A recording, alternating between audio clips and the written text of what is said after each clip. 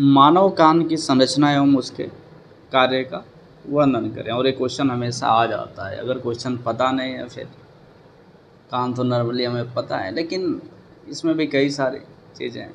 जैसे बाय जो है, इसके अंदर मध्य कर्ण होगा, फिर उसके अंदर अंतकर्ण होगा। तो आइए और इसका आंसर देखते हैं, ताकि आपको समय पढ़ने पर लिखने में कोई परेशानी ना हो। उम्मीद है कि आपको पूरी अच्छी तरह से समझ में आएगा। जब किसी प्रकार की ध्वनि हमारे कान में प्रवेश करती है तो इसमें हमें श्रव्य संवेदन होता है। मानव कान की रचना को मनोवैज्ञानिकों ने सुविधा के दृष्टिकोण से निम्नलिखित तीन भागों में बांटा है बाह्य कर्ण यानी आउटर ईयर मध्य कर्ण मिडिल ईयर और अंतकर्ण इनर ईयर बाह्य कर्ण बाह्य कर्ण कान का वह हिस्सा है जिसे हम बाहर से देखते हैं। इसे दो भागों में बांटा गया है, पिन्ना तथा कान की नली, यानी ऑडिटोरी कैनाल। इन दोनों का वर्ण निम्नांकित है। पहला है पिन्ना। पिन्ना कान का वह हिस्सा है जो बाहर की ओर निकला रहता है। ऊपर से नीचे की ओर पतला होते हुए गोलाकार होता है, साधारण, यानी कि ये जो है इसको हम क्या बोलते हैं? पिन्ना। साधारण अर्थ में उसे कान कहा जाता है। पीना की, का मुख्य कार्य ध्वनि तरंगों को जमा करके उसे कान की नली में भेजना होता है, परंतु ऐसा देखा गया है कि इसकी अनुपस्थिति में भी ध्वनि तरंगें आसानी से कान की नली में प्रवेश कर जाती है। इसका मतलब यह हुआ कि पीना द्वारा सुनने में बहुत कम योगदान होता है। दूसरा है कान की नली। कान की नली बाहर से दिखाई देती है और इसकी लंबाई करीब करीब 25 से 26 एम mm होती है। ध्वनि तरंगे जो पिन्ना द्वारा सुन ध्वनि तरंगे जो पीना द्वारा इकट्ठा की जाती है, इस कान की नली में प्रवेश करती है। कान की नली उन ध्वनि तरंगों को कान की झिल्ली तथा कर्णपट तक पहुँचा देती है। ध्वनि तरंगे जब कर्णपट से टकराती है तो इसमें कंपन पैदा होता है, क्योंकि यह झिल्ली अधिक कोमल एवं संवेदनशील होती है। और कर्णपट से ही मध्य कर्ण की शुरुआत हो जाती है। मध्य कर्ण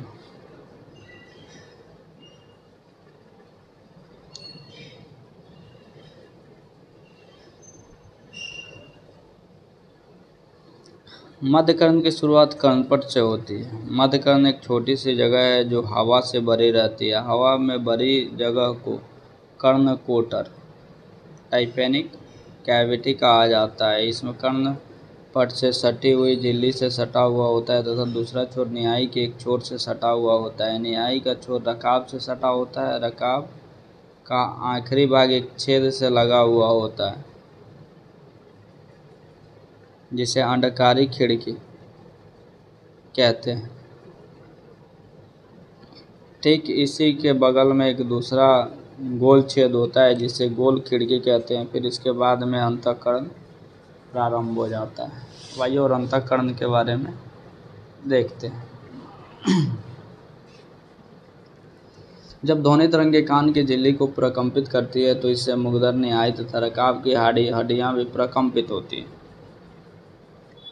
इन तीनों हड्डियों में प्रकंपन होने से ध्वनि की तीव्रता काफ़ी बढ़ जाती है। फलस्वरूप, उसका श्रवण, संवेदन अधिक स्पष्ट होने की संभावना बढ़ जाती है। जब अंतिम हड्डी तथा रकाब प्रकंपित होती है तो प्रकंपन अपने आप ही अंधकार खिड़की के माध्यम में अंतकरण में प्रवेश कर जाता है।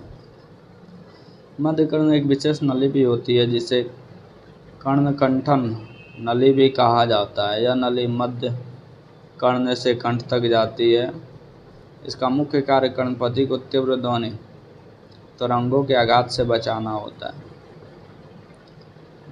बहुत तीव्र आवाज़ होने पर कान के अंदर प्रकंपन नली इसके सारे कंठ तक चला जाता है और मुँह से बाहर आ जाता है। यदि यह नली नहीं होती तो कर्णपट तेज आवाज़ से फट सकता था। तीसरा है अंतःकरण। अंतःकरण में में श्रव्य संवेदन की ग्राहक को कोशिकाएँ यानी रिप्टर सेल्स पाई जाती है।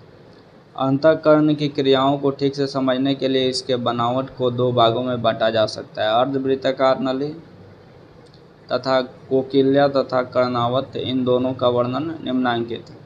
अर्धवृत्ताकार नलिका जब व्यक्ति किसी ध्वनि को सुनने की कोशिश करता है तो उस समय उसके शरीर की एक विशेष मुद्रा की ज़रूरत होती है। अर्धवृत्ताकार नलिका वैसे मुद्रा बनाए रखने में मदद करती है। अतः अर्धवृत्ताकार नलिका यद्यपि कान में अवस्थित होती है, फिर भी उसका संबंध सुनने से नहीं होता है। इसका विशेष महत्व शारीरिक संतुलन बनाए रखने के लिए होता है। सचमुच में यह नलिका, इस नलिका में एक तरल पदार्थ भरा होता है।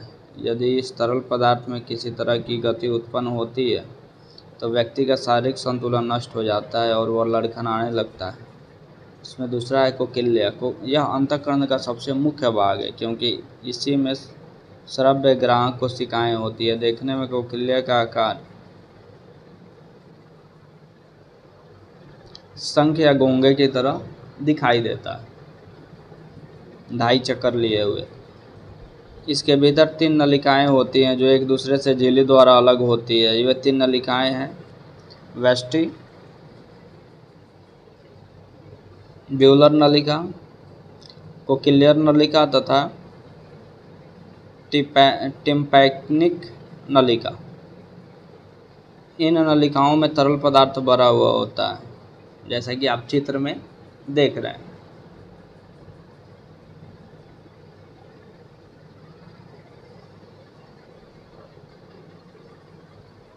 वेस्टिबुलर नलिका की शुरुआत में अनकार नली, नलिका खिड़की की दूसरी ओर होती है, जो कोकिलिया के शीर्ष तक चल जाती है। इस शीर्ष से टेम टिम्पैनिक नलिका शुरू हो जाती है। कोकलियर नलिका तथा टिम्पेयर नलिका के बीच एक झिल्ली होती है, जिसे वेसिलर झिल्ली कहते हैं। इस वेसिलर झिल्ली पर आर्गन ऑफ़ कोर्टी होती है, जिसे सेवार के घास के समान पतले पतले कोशिकाएँ होती हैं। जब ध्वनि तरंगे अंडाकार खिड़की में प्रकंपन उत्पन्न करती है तो इस नलिका के तरह तरल पदार्थ में हलचल उत्पन्न होने लगती है, जिसे टिम्पैनिक नली तरल पदार्थ में भी हलचल होती है। इस हलचल से वेस्लर नली नली प्रकंपित हो जाती है। इस तरह से इस झिल्ली की कोशिकाएँ उत्तेजित हो जाती है। इसके फलस्वरूप तंत्रिका आवेग उत्पन्न होते हैं और श्रवण तंत्रिकाओं द्वारा मस्तिष्क में पहुँचते हैं। फलस्वरूप हमें श्रवण संवेदन होता है। स्पष्ट होता है कि मानव कान की जो रचना है वो जटिल है। सुनने की प्रक्रिया में कई चरण सुनने की प्रक्रिया भी कई चरणों में संपन्न होती है। बाह्य कर्ण ध्वनि तरंगों को संग्रहित करके मध्य कर्ण तक पहुंचाता है। मध्य कर्ण ध्वनि की तीव्रता को बढ़ा देता है तथा अंतकर्ण की पेश कोशिका एवं श्रवण तंत्रिका आवेग उत्पन्न कर उसे मस्तिष्क में भेज देता है, जिससे श्रवण संवेदन उत्पन्न होता है। मानव कर्ण सिर्फ़ 20 हर्ट से लेकर बीस हज़ार हर्ट की ध्वनि को ही सुन सकता है।